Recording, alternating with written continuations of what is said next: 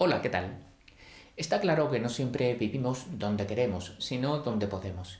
Y a medida que cumplimos años, nuestras posibilidades de elección pueden reducirse, sobre todo por cuestiones de salud. En el anterior vídeo ya vimos las alternativas que existen tanto para afrontar los gastos adicionales que supondría quedarse en casa como para mudarse. Hoy vamos a abordar las cuestiones más prácticas relacionadas con la opción de permanecer en el hogar. De entrada hay que reconocer que no se puede prever todo, cómo va a evolucionar la propia salud o la del cónyuge.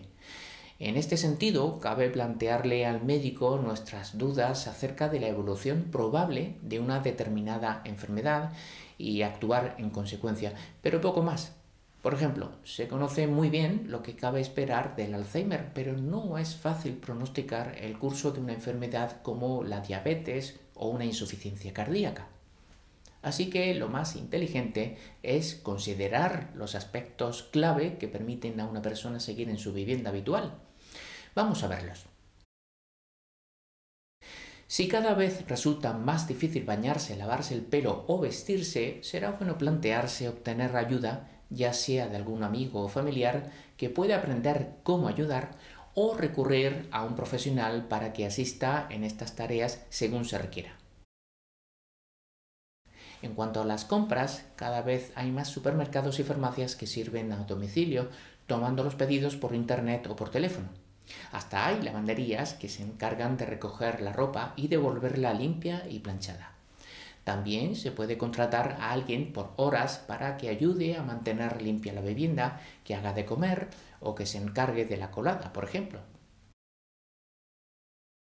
A veces se puede compartir la cocina y las comidas con amigos y vecinos, lo cual puede suponer un alivio para contrarrestar la carga que supone hacer de comer, al tiempo que se añade un aliciente muy interesante, el de comer acompañados. Por ejemplo, uno puede hacer las compras y el vecino la cena. También puede haber establecimientos donde conseguir comidas de igual calidad que las hechas en casa, o hasta comedores especializados donde coincidir con más personas en circunstancias parecidas. Tampoco es mala idea pedir que algún allegado lleve comida saludable a casa varias veces en semana. Es posible automatizar la mayor parte de los cobros regulares domiciliando los correspondientes recibos y así solo se requiere una supervisión de las cuentas por parte de uno o de un pariente de confianza. Eso sí, conviene ser cautos para evitar estafas y no facilitar ningún dato sensible a personas que se presentan en la puerta sin que las hayamos llamado. Ni facturas de electricidad, ni número de la seguridad social, ni números de cuentas bancarias, nada. Por lo demás, habrá que pensar en alguien de confianza que cuente con capacidad para negociar ante acreedores o ante seguros y atender pagos llegado el caso. Una de las mayores preocupaciones en el cuidado de los mayores está en el seguimiento de los tratamientos prescritos. Hay ayudas de todo tipo, tanto de baja tecnología, como son los sistemas personalizados de dosificación, es decir, pastilleros para ordenar las tomas de medicamentos, hasta de alta tecnología, como las aplicaciones móviles o los dispositivos electrónicos programables que recuerdan cuándo hay que tomar cada pastilla.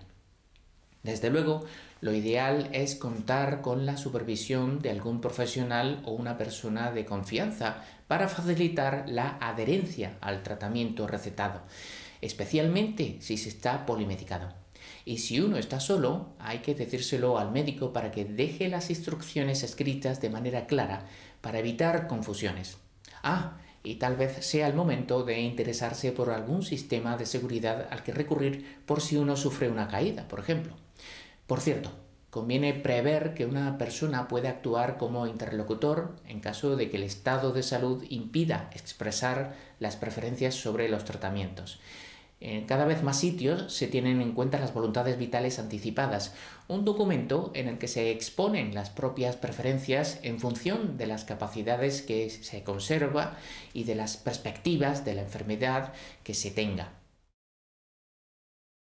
Si se tienen dificultades para caminar, tal vez se pueda uno hacer acompañar por alguien o por lo menos recurrir a ayudas técnicas. El caso es mantener un mínimo de actividad física. Ya hemos visto en este canal extensamente cómo plantearla. Es posible que haya planes de transporte público ideados para las personas que están muy mayores para conducir su propio vehículo. Es muy probable que haya cerca de donde uno vive asociaciones, centros de día y clubes donde coincidir con los amigos y conocer a gente. ¿Que es difícil dejar el hogar?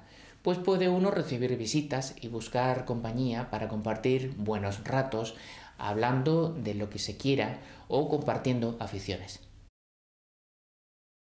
Tal vez admita algunas mejoras como eliminar alfombras con las que tropezar, cambiar la bañera por una ducha, instalar en ella asideros firmes, optimizar la distribución o mejorar la iluminación. Merece la pena averiguar si hay ayudas para acometer estas reformas.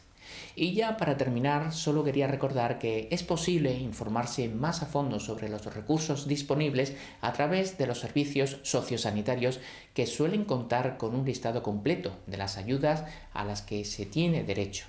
Tal vez supongan la diferencia entre tener que irse de casa o quedarse en ella. Casi nada. Esto es todo por hoy. Muchas gracias y hasta el próximo vídeo.